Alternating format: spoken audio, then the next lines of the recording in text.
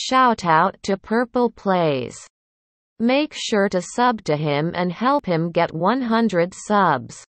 That's it bye.